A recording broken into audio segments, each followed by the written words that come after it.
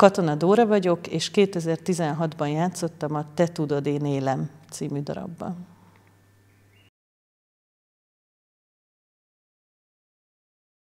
Hát intenzitásban azt hiszem a premier előtti rövid időszak, amikor zöld arcszínnel vártuk a, a kezdést. Meg, meg az, hogy mennyire összekovácsolt minket akkor ez, a, ez az élmény.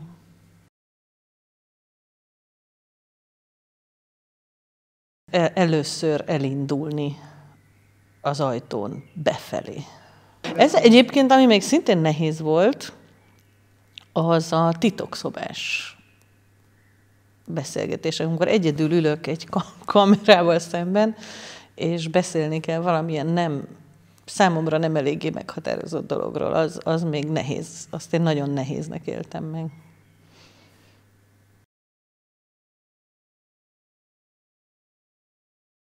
Nagyon izgultam, de, de hogy azt is tudtam, hogy nagyon-nagyon jó lett a darab. Én, mi nagyon szerettük nyilván a saját, saját darabunkat. Rettenetesen izgultam, ahogy a többiek is.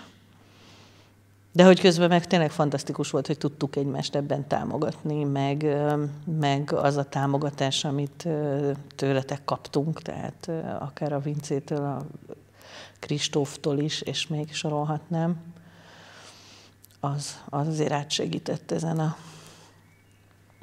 hány ingerrel küzdködős, zöld arcos izgalmon.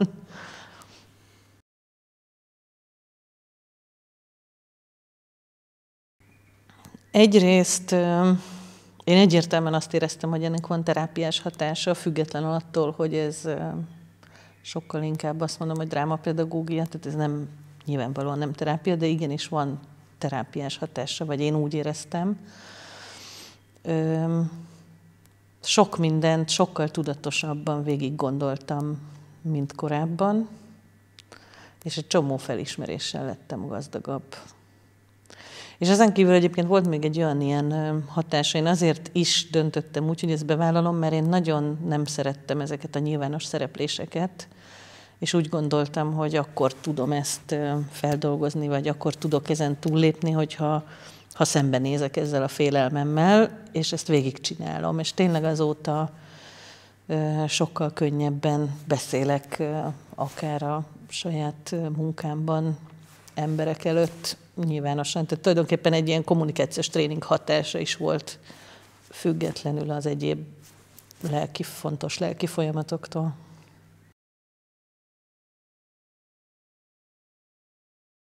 Hát mindezekért. mindezekért. Egyrészt tényleg van egy bizonyos területe vagy szakasza az életemnek, ami, amit, amit megbeszéltünk, és újra lehetett gondolni, és tanulni lehetett belőle. Aztán az, hogy mennyire összekovácsolódik a csapat, az is egy hatalmas élmény. Nekem az is az volt, hogy hogy működik a színház. Tehát, hogy egész egyszerűen egy darabnak a születését végig kísérni, tényleg a nullától odáig, hogy elkészítjük a díszleteket, hogy, hogy megnézem, hogy milyen az, amikor a fényeket kitalálják hozzá, hogy milyen egy, milyen típusú próbák léteznek, és ezeket végig is csinálsz. Ez, ez a színház oldala is nekem hatalmas élmény volt.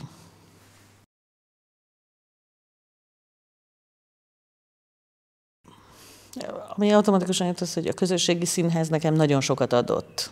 És egyébként nem csak résztvevőként, hanem én az összes többi darabot is megnéztem, és, részt, és hallgatóként is, és résztvevőként is.